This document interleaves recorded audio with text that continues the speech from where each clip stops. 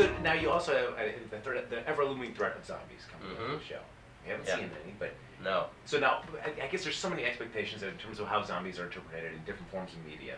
So when you start thinking about, all right, if we're gonna do zombies on our show finally, is it was it a budgetary reason initially, or was it just like ah, we don't know, we want to do something different, but we don't know what it is yet, so let's not put them in yet. It was a, it was a budgetary reason at first, um, and and we went back and forth about possibly doing a reshoot to add in a zombie. But at the end of the day, it was the zombies were the MacGuffin. Um, you know, the zombies were because so many zombie shows do zombies well, and even in the second season, there will be zombies. There will be zombies. Um, but but it's not about the zombies because if you want to see zombies, go watch The Walking Dead.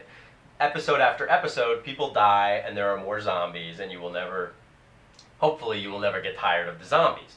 But in my show, it, it's really more about, at the end of the day, who your dream girl is and who you're comfortable with, you know, falling in love with. If there's if there's not many people to choose from and, and you know being okay with that and it's it's not necessarily about the zombies it's more about this looming threat of the end of the world Now, how mad are you at Will Forte? I mean, it's like, why are you copying me, Will? what are you doing? Just riding my coattails. I, I was the, I was laying the groundwork for this. I didn't know you were going to bring that up. um, yeah, so I found out about The Last Man on Earth probably about six months ago, and I was a little depressed. Uh, not to mention because it's like the second time that it's happened to me in my career here in Hollywood.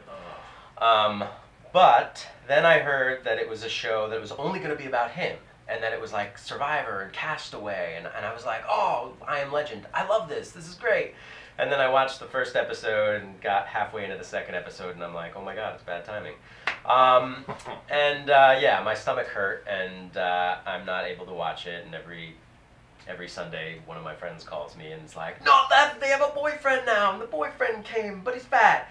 Um, and yeah, I, I, I can't watch it, but I, I wish them well, and uh, I'm sure you know a lot of people come up with the same ideas at the same time, and you know, I, I don't know. Ugh.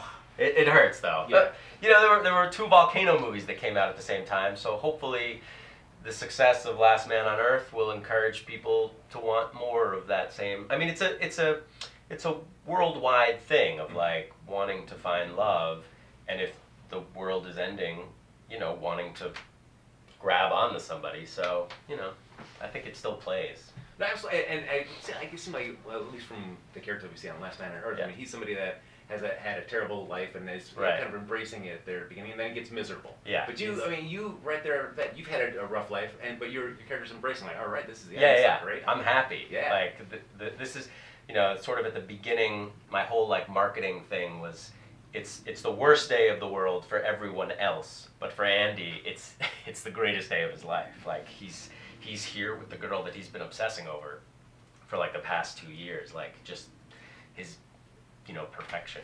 So So during the course of making season one, what what what did you learn that you feel like, all right, this is I want, I want to apply this to season two. So like these are things that we kind of worked out along the way that I know we can do better when we get to season. Planning. Um, I'm not the best at organization, and I go off on a lot of tangents. I don't know if you can tell. Um, and maybe that's improv me, or maybe it's just me being spastic. But um, when I was ready to shoot, I had been like writing Bad Timing for a while. I had talked to Aquella, beautiful Aquella Zoll, who who plays Eve. I had talked to her for almost a year about being in the show, and then about three weeks before we were ready to shoot, I was like, "Oh wait, we haven't gotten costumes. We don't know about makeup. We don't we don't have we don't have a location set in stone.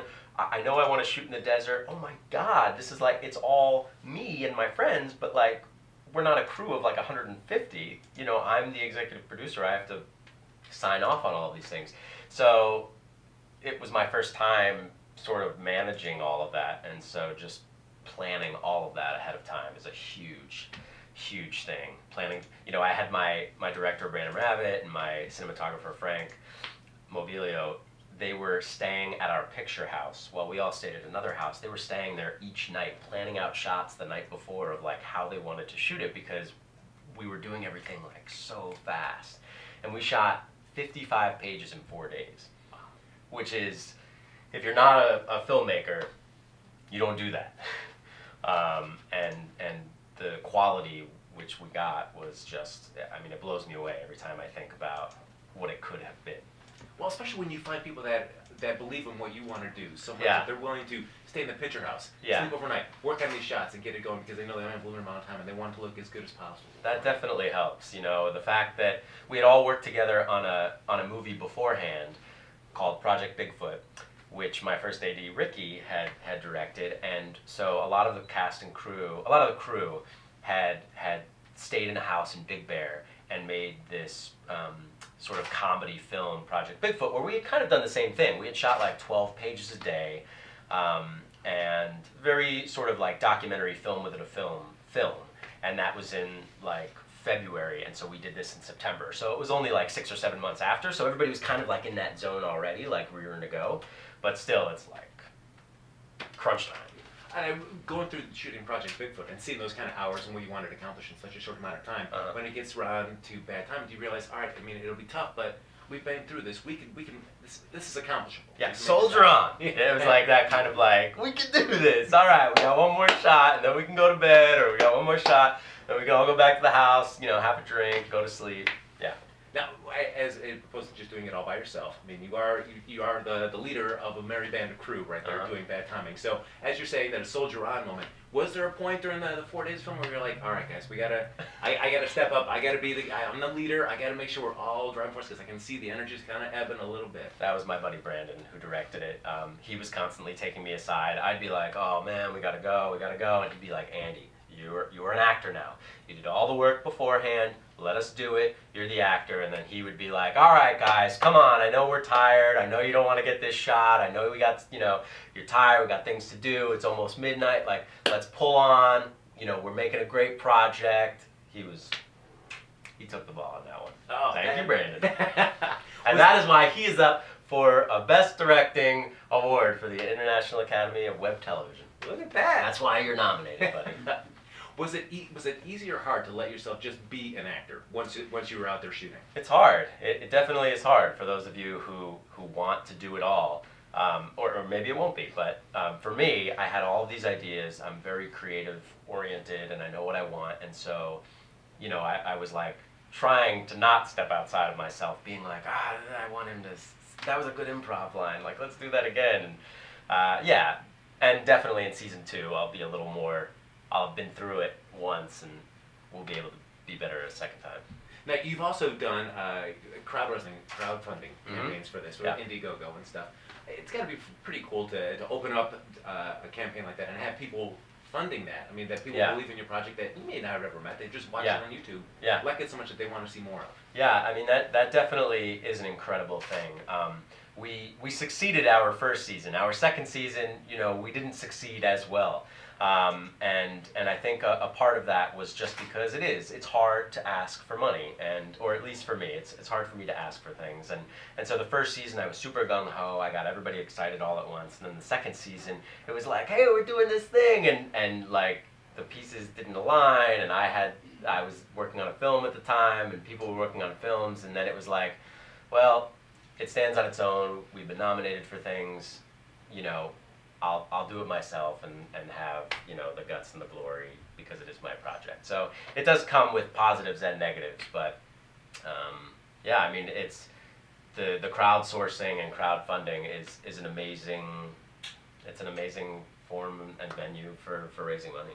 So season two uh, has has it started filming yet? It hasn't started filming yet because we've been locking up schedules, and it's hard because we're shooting in the desert, so there's heat.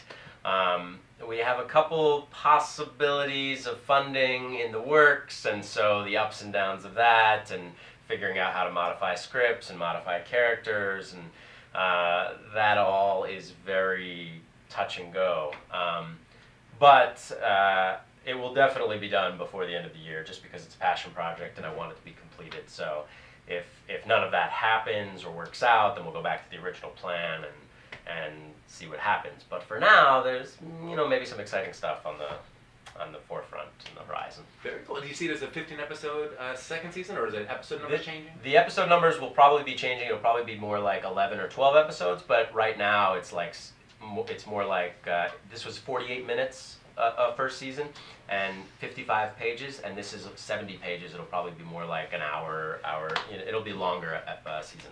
Oh, So Yeah. a, little, a little bit longer episodes each time. Uh, longer episodes. There's a few more characters that show Oh, up, alright. um, and there will be zombies. Fantastic. Yeah. Oh, Andy Goldenberg, everybody. If you want to check out more you can go to his YouTube page there, Golden Tusk. Yes. YouTube.com slash Golden Tusk. Look at that. Check out more. Check out all of uh, season one there of Bad Timing. And you go to Indiegogo. Can they still get, if, people want to Uh, contribute, can they still help out with season two? Yes, I, I've, I've been trying to figure that out. I know they're they're starting to. Uh, people have asked me that, and uh, I, I didn't know if it was poor form to start another Indiegogo campaign. Some people do that to like do finishing funds. Uh, if nothing else, I might do that. Mhm. Um, yeah, I haven't set up a, another sort of bank account thing for that, but uh, I should. Uh, contact me on, on youtube.com slash golden tusk and we can work something out. Oh, fantastic. And Andy, one last thing before you go. Like uh, any other people watching here, just aspiring uh, filmmakers, actors, things like that, what's one piece of advice that maybe you'd want to give them that either you got or you wish you had gotten before you started, when you started out? I really think you just have to be true to yourself, I, I, I, and be true to yourself and be happy, and and sort of that goes part and parcel with each other. If you're happy, people will gravitate toward you, and if you're doing what you love, then people are going to want to be a part of that, and and don't sort of do things just because everybody else is doing them. People will always love individuality. Fantastic. Andy, thank you so much. Thank you, Frank. Pleasure. Yeah, thanks a lot. We'll be back in a little bit here on WatchHollywood.tv.